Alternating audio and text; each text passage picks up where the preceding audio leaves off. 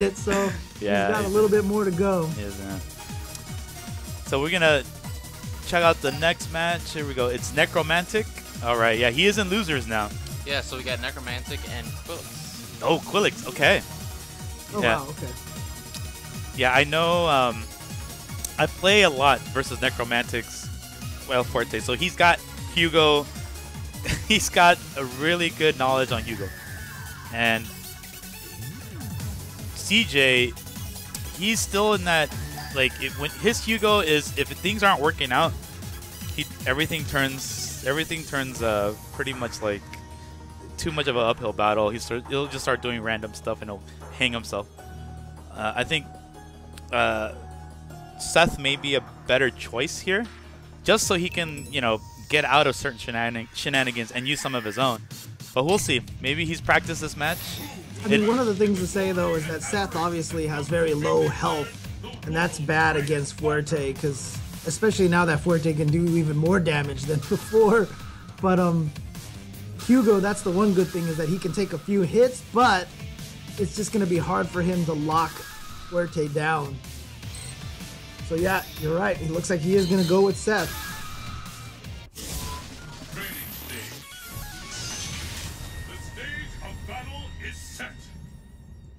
I'm curious to see what CJB Qulix's goal is going to be. Is he going to try to rush Nekromantik down, or is he going to try to play a defensive game? Well, the, the cool thing with uh, Seth here is he can change the trajectory, and that's always good versus El Fuerte. Oh, nice. Fading him out the uppercut. And look at this run stop fierce. Seven hits total. Good damage. Got him? You get him? Oh, jump off the wall. Yeah, you Ah. always have to remember that. Characters can change their trajectory in the air. So useful. Ooh. Barely got him. And he's going to be able to get a mix up. What's the mix up? Oh, he gets oh, out of there. Oh my! You, you know what? If CJ knew that, if that was premeditated, if he knew that was the right punish, kudos because that looked clean. I don't know about you, but that chase was looked really clean to me. Oh, did. Yeah, I Oh, did. Did he do that on purpose? He- we don't know. I'm gonna ask him. I gotta ask him because that that was so that was so sick. Yeah, the biggest problem, of course, is that the EX quesadilla bomb recovers so fast on whiff, so very hard to whiff punish that move. Wow, just gets out of there using the EX Q bomb to go through the fireball, get all the way to the across the screen, doesn't even have to worry about the mix-up anymore. Now Nekromantik yep, chilling on the other side of the screen. Oh yes, good, good, good damage there. Using the two bars on the FADC to make sure he gets even more damage. But there's that EX case. Oh wow! what? Oh what the hell? Oh no! And then he dashed into propeller tortilla. Oh. Yeah, one of the dangerous things you got to remember when you go up against Fuerte now. Now with EXQ bomb, it doesn't matter. Left or right mix-ups don't work on him anymore because the same command is going to work no matter what side you put him on. So you kind of have to keep that in mind when you try to lock him down on his wake up. So Nekromantik taking game one. Yeah. Um. oh, all right. We got some Twitter action. So we got uh, watching WNF on your Xbox One from North Carolina. All right. Shout outs to Chris Benson. I see you. It's one of the things that you can watch Twitch on your uh, on your home console nowadays.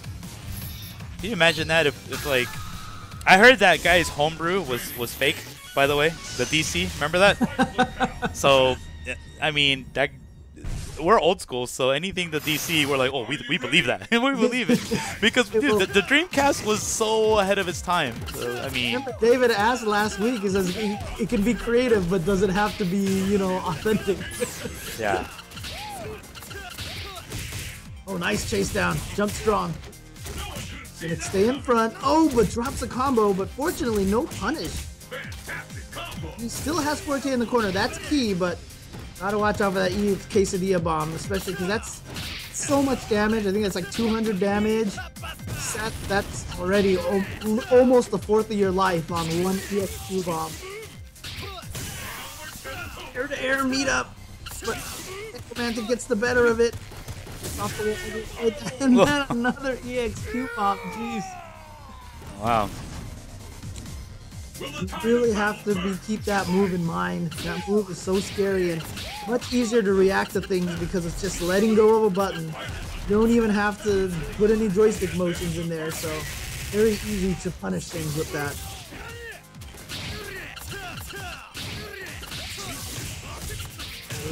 Oh wow, nice, nice reset. I mean, last time he landed that jump fierce, he got run, stop, low forward, and then he ran away. So that time, uh, Qulix was probably thinking he was going to do the same thing, so good change up to the cross-up splash. Ooh, tried to chase him down, but nice backdash from Qulix, and he's going to get some good damage, but then there's that EX Quesadilla Bomb, which CJB Qulix just never respected. He never, ever really just... He never baited it. He never thought that that was happening, so... Yeah, I I advise um, CJ to use Hugo. I, I mean, he's got to learn how to be really patient. You know, like that's why he picks Seth. Seth he likes he likes to have control or go nuts, right?